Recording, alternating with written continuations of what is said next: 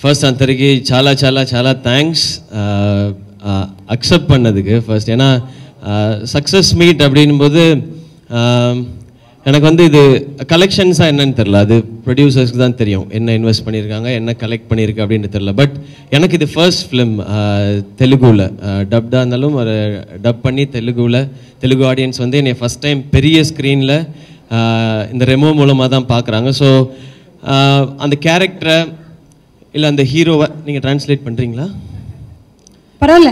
பரவாயில்லையா?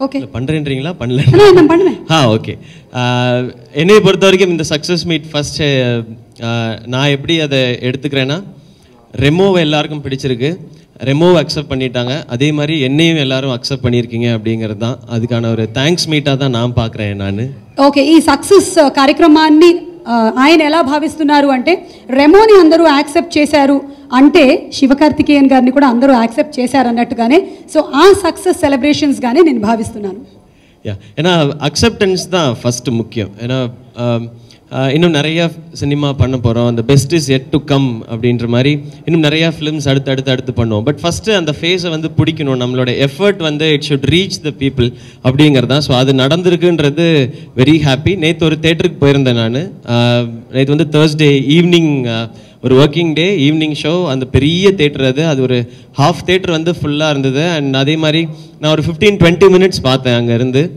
நிறைய என்ஜாய் பண்ணாங்க. காமெடி எல்லாமே ரொம்ப சந்தோஷமாக இருந்தது. எனக்கு ரொம்ப புதுசாக இருந்தது. நான் வந்து தெலுங்கு பேசிகிட்டு இருந்தேன். அண்ட் அதை வந்து இங்கே எல்லாரும் கிளாப் பண்ணி சிரித்து என்ஜாய் பண்ணுறாங்கன்னு நமக்கு ஒரு ஒரு புது ஃபீலிங் அது. அது ரொம்ப சந்தோஷமாக இருந்தது. தேங்க்யூ ஸோ மச் அது பெரிய தேங்க்ஸ் இங்கே இருக்கிற ப்ரெஸ் மீடியா எல்லாருக்கும் இது அவ்வளோ கொண்டு போய் ரீச் பண்ணியிருக்கீங்க. அண்ட் uh, uh, நல்ல கண்டென்ட் என்டர்டெய்னிங் ஃபிலிம்னா அது என்டர்டெய்னிங்காக இருந்தால் போதும் அப்படின்னு சொல்லி அதை அக்செப்ட் பண்ணிட்ட தெலுங்கு ஆடியன்ஸ்க்கும் பெரிய தேங்க்ஸ் அண்ட் uh, ரொம்ப பெரிய தேங்க்ஸ் தில்ராஜு சார் ஒரு ப்ராப்பர் லான்ச் கொடுத்ததுக்கு. அண்ட் ஆர்டி ராஜா சார் அவருக்கு பெரிய தேங்க்ஸ் ஏன்னா ப்ரோமோஸ் வந்து இங்கே சூப்பராக இருந்தது.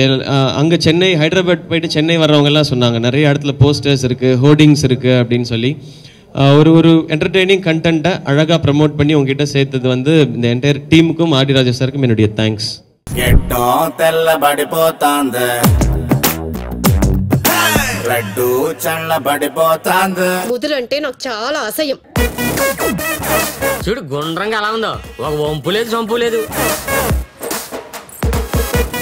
నువ్వేమన్నా పెద్ద మహేష్ బాబు అనుకుంటున్నావా తి- తి- తి- తిడతారేంటండి నొత్తినాయలా